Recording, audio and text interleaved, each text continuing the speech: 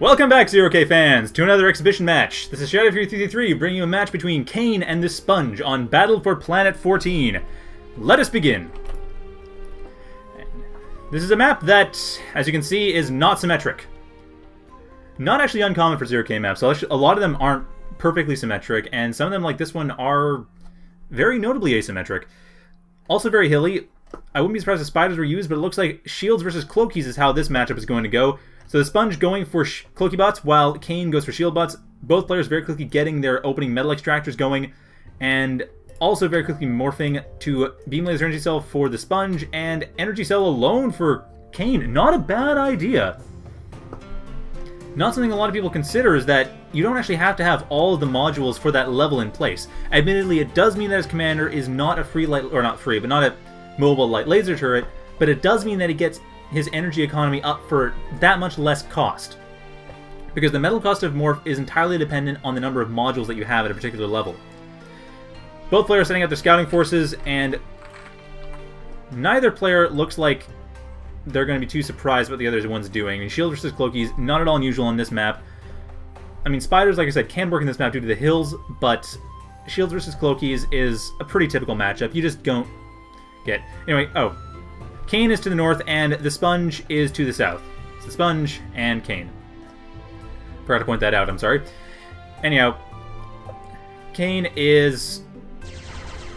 Well, he is defending pretty well against that Glaive, but not well enough. Looks like the Glaive managed to win an uphill fight against the Bandit. Interestingly done there. The Sponge's Glaive managed to take out a Metal Extractor and almost goes to the Convict. Did not quite realize that was there. While he himself is getting harassed, Bandit coming in here. The light laser turret is able to take it out before it deals any damage. The Sponge really has nothing to worry about. Though, the Sponge, he's... Actually, they both even in economy. They both have exactly the same number of metal extractors and power plants, but Cane is still moving a bit ahead. He does have one more metal extractor now, having rebuilt the one that was destroyed in harassment. More glaives coming in, while some bandits stream out, it looks like Cane is not building quite as quickly. He's focused a bit more on construction, while the Sponge no, they appear to be evenly focused on construction. Glaives gets just that, that much cheaper. And in a battle off-screen, we see the Glaives manage to take care of those bandits without too much issue. Light Laser Turret not able to get through that hill before getting attacked by the Glaives, but I think the Glaives will go down. Yes, they will go down with the bandit support. Nice try for second harassment there, but Cane has locked down his main base for now, until basically until Rocko's come in. Actually, even Warriors would do just fine. Until Rocko's and Warriors come in and start actually being able to pound down those light laser turrets. But by that point, the players will have expanded more towards the, well, the center of the map and possibly the size of the map. More likely the size of the map, actually. This area here is actually quite open. This metal extractor, in range, the glaives could, if they go in between these light laser turrets, and it looks like they will go around them. They don't know about this one, but they will soon find out. And this glaive We'll be able to start taking out the metal extractor. The second one will go down, but the first one, it's also going down. Why is it letting itself go down? No, it is, well, I shouldn't say letting itself. That was under Sponge's control.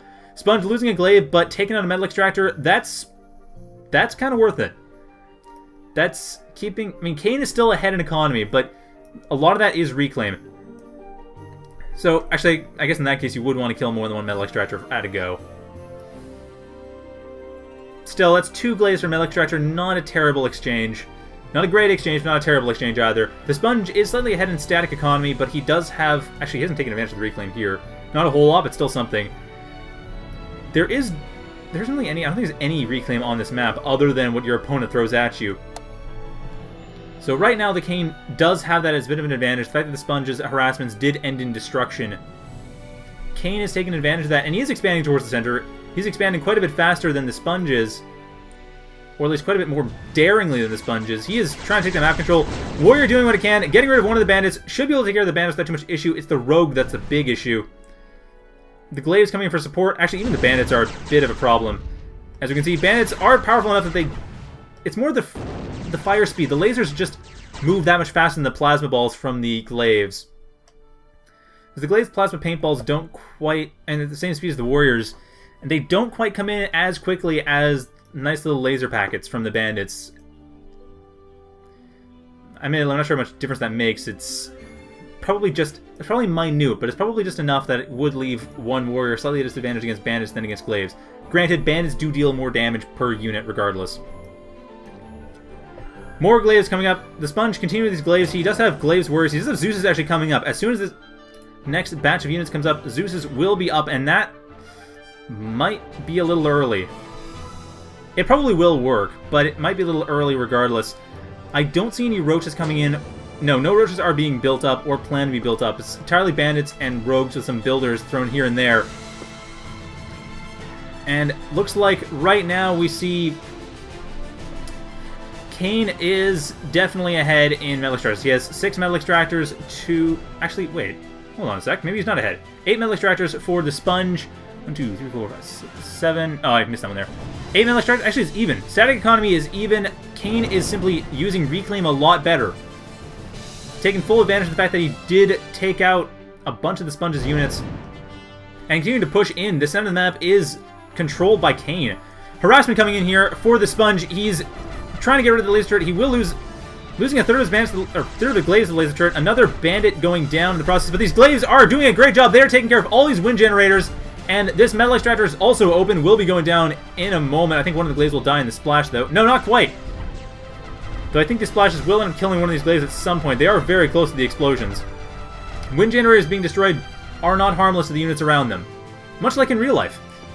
Though admittedly, I've never actually gone around with a plasma paintball gun shooting wind turbines.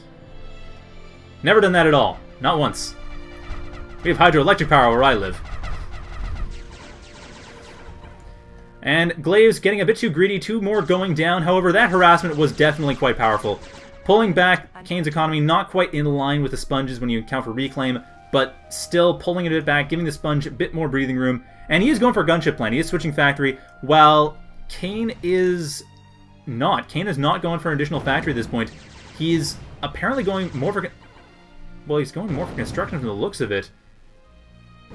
Is he... He is not speeding this factory up at all. It is just using a standard 10 metal.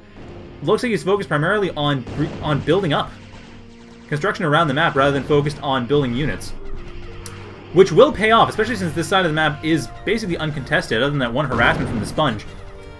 Though the right side of the map is being taken by the Sponge, it's not as decisively as I'm sure would like. Though, actually, this is doing a pretty good job. He is taking... He is taking it. Never mind, he is actually starting to make it decisive. With these glaives, doing a great job getting rid of Convict, getting rid of another metal extractor, and getting rid of pretty much all the map control Cane had on the east side of the map. That's pretty effective, actually. And Cane coming in with thugs, bringing out the big guns. A Zeus should be ready, and there should be actually a couple Zeuses by now. There is a Zeus, another couple of warriors coming up, and a Black Dawn for the Sponge. Should eat up a lot of his metal, although he still has... Okay, there's the Caretaker I was looking for. While the Cane... Sorry, not the Cane, just Cane, is getting... Continuing to build up, he's getting more harassment and trying to take the south side of the map. So the map is kind of split east-west, but Cane still has an advantage, taking the north side. And a tick coming in, not able to do any real damage. Glaives are prepped, waiting to attack, and all the main assault units for the Sponge waiting in his base. Moving out the Warriors, not just going to move with the Zeuses. There he is.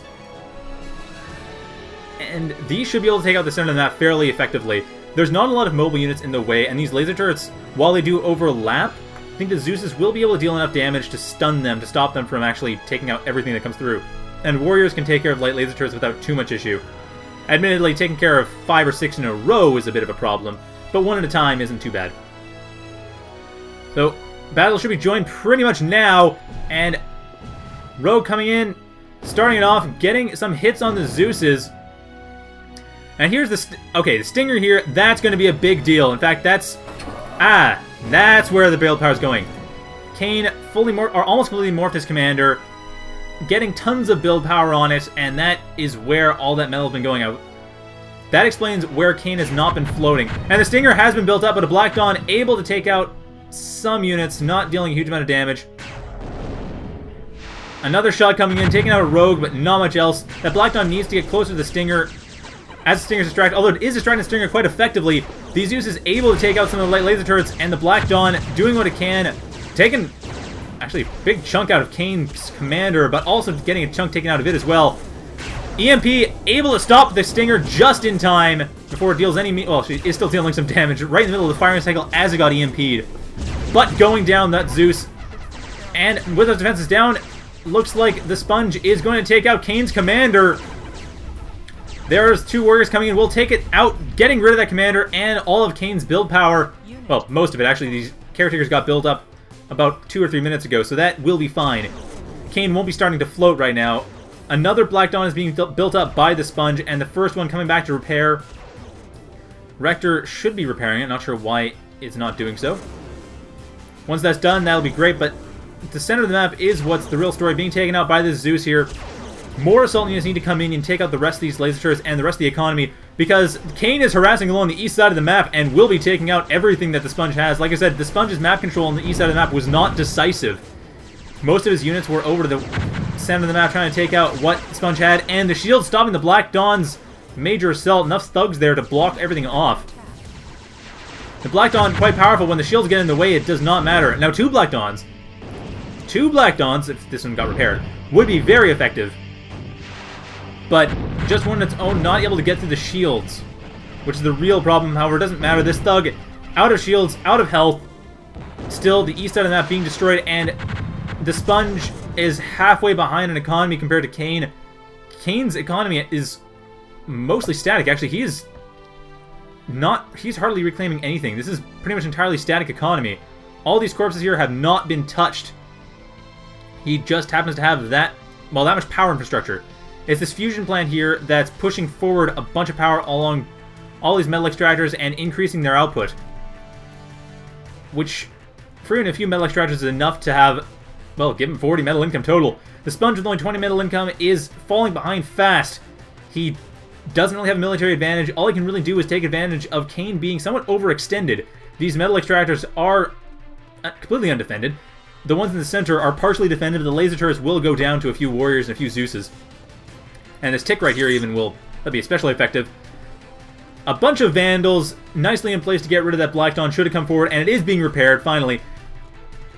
Rocco's and Zeus is coming in. The Zeus, like I said, a couple Zeuses alone could take care of all these laser turrets, all these metal extractors, especially the ones that are undefended down here.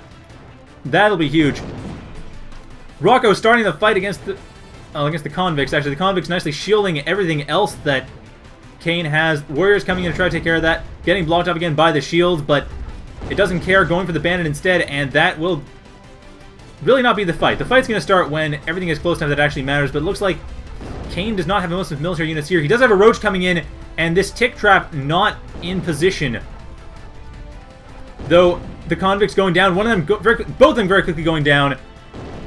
No raiders really take care of this. However, this roach, one of the roaches will take care of this warrior. The other one looks like it's going, trying to help defend here, set up a trap while thugs push forward. And Tick coming in. Tick will disable two of the thugs, but the Zeus follow-up will have to come in quite quickly. And two of the thugs are coming in, nicely getting rid of one of the roaches. However, a second roach will probably take care of them. They look like they will be distracted in the process. And are they going to be distracted? Yes, they are being distracted. However, the roach not coming in in time. The roach actually looks like it's going to go off against these glaives. And if it goes up too soon, it'll take care of everything here. But the glaives, they're not aware of this roach being here the Roach getting out of the precarious position that would have caused it to destroy its comrades, and able to get rid of the Zeuses. There we go, getting rid of one Zeus, heavily damaging the other. And a Racketeer coming in to try to finish it off. No additional factors for Cane. He is very confident about using shields, and so he should be. He has full map control. At this point, it's just a matter of pressing in and taking out the Sponge's base. A Crow being built up, I do not approve of this. I do not agree with using a Crow at this stage in the game. He really should be pushing more towards Cloakies. Admittedly, I can kind of see why he's doing that. Or Banshees. Actually, a ton of Banshees, if he gets rid of the Vandals, would work. It's the Vandals that would stop that from working, though. The Black Dawn, however, the burst damage just gets stopped by the shields, and a couple shields not a big deal, but these Vandals are able to take up the rear, taking care of this one Black Dawn. It might be able to get back in time to repair. Actually, will be able to. Both of them able to get out of there in time, but still, map controls decisively Cane's and he is moving in for the kill. Or at least so he, so he appears. He's definitely blockading everything. He's keeping a contain on the sponge. But if this crow gets out, well, it won't really do too much. The Vandals, actually, it might do a fair bit. If it gets in the right position, it could actually start taking care of the Vandals. Eight Vandals against a crow, especially with ground support. I think the ground support is going to be the that's going to be the deciding factor. However, the Racketeers should be able to disable enough of it that it won't matter too much. This Although their missiles not being homing is going to be a slight drawback. The Warrior able to move fast enough to avoid the brunt of the damage, actually avoid all the damage. Microing around, or automatically getting around this Thug here. That is avoiding the Racketeer shots as well. And a Tick, not well positioned, only able to take out two of the Rogues. The Thugs were the main target. It needed to block off those so their shields were disabled, and it did not do so. However, Zeus's are coming in. A couple Zeus's will be enough to take care of that. But at this point, Cane really just has too much of an army to actually be dealt with at this point. They are overextended slightly. The Black Dawns actually do have a chance to take care of this. This Crow still... How long does it have? It's three minutes left before it's built. Yeah, this is not going to matter in this game. I highly doubt it's going to last that long unless Cane lets it. The Zeus is stunned, and the Thugs will be able to kill it as soon as they manage to aim enough to do so. No, actually too close to the epicenter of the attack, but it doesn't matter. The Sponge has surrendered. Realizing you can't do anything with that game, I really don't know why you went for that crow. I really don't. Crows are kind of game enders if you really know you've won, but not comeback tools, not by a long shot. Anyway, I hope you enjoyed that. I'll have another match shortly, so stay tuned, everyone.